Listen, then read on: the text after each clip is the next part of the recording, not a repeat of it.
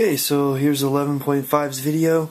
We're going to talk about uh, probability with the fundamental counting principle, uh, permutations, and combinations, right? So we're going to use the ideas of counting principles uh, to help us figure out the probability of a particular event that we're interested in. Which means we're going to have two objectives, uh, the ability to compute probabilities with permutations, where order does matter, and compute probabilities with combinations, where order does not matter, right, from the last chapter.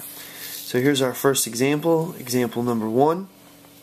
We're going to have six jokes about books by Groucho Marx, okay, George Carlin, uh, Steven Wright, Greg Ray, I'm going to put the four, uh, Jerry Seinfeld, and Phyllis Diller, right? So there's six comedians there, uh, and each are written on one of six cards. The cards are placed in a hat, and drawn one at a time. What is the probability that a man's joke will be delivered first and a woman's joke last? Alright? So, um, what we want to do is find the events that we're looking for, how many possible events uh, could happen that we're looking for out of the total number of events uh, that are possible, right? And so if you're looking for events and you want a guy to go first, right, and a woman to go last, well basically that means that Phyllis Diller is, is at the end. So that means I have five men to pick from for the first spot. Now I only have four to pick from for the second spot because remember I'm saving Phyllis Diller for last, right? So basically I have the five men, four men, three men, two men, one man, man, sorry, and then I have Phyllis Diller. Alright? Out of a total of six total possible um, comedians. And so that's the 6 factorial. Okay? Um, because the order does matter here in which uh, the men go.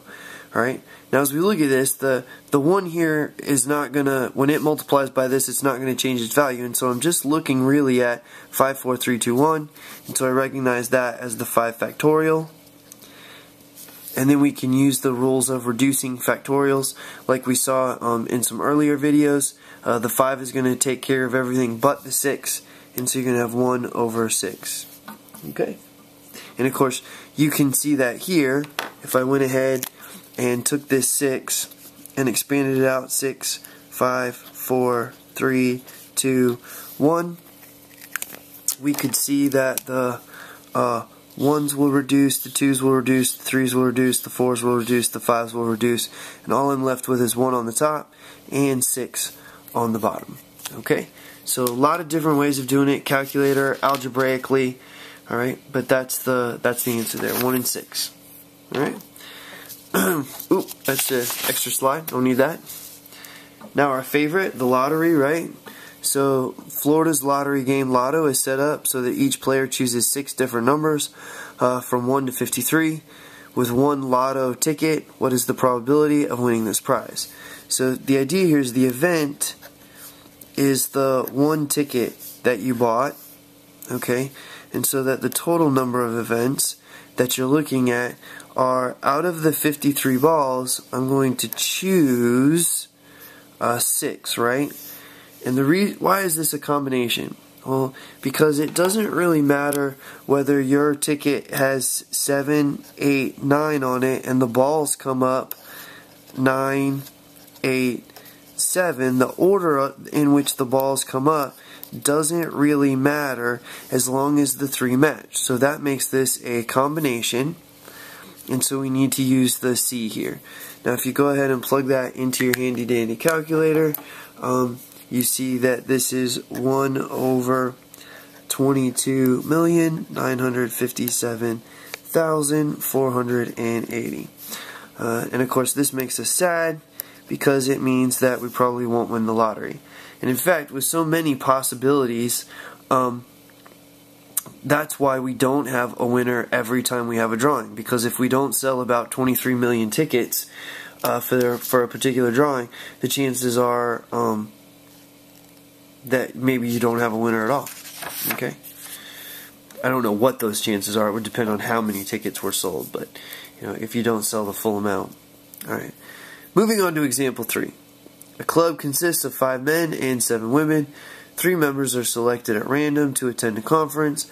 Find the probability that the selected group consists of three men.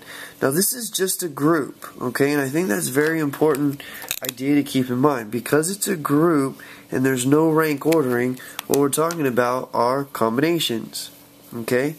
And so what are the number of ways of selecting three men? Well, and if you think about it, the way of selecting three men from five, when order doesn't matter, is the five choose three. Okay, and what's the total number of possible combinations? Well, I'm still choosing three, but instead of it just being men, it's going to be out of the 12 women, right? So I'm going to have this slightly different idea of my events are going to be 5 choose 3 for the number of possible men versus the total, which is 12 choose 3 out of all 12 members. Okay? And so if you do 5 choose 3, uh, you end up with 10 from your calculator, and if you do 12 choose 3, you end up with 220 in your calculator. And of course, I can just reduce the zeros out there um, because of the base 10 system, and you get 1 over 22. Right? And that makes us happy because we have the answer. Um, and this concludes our video.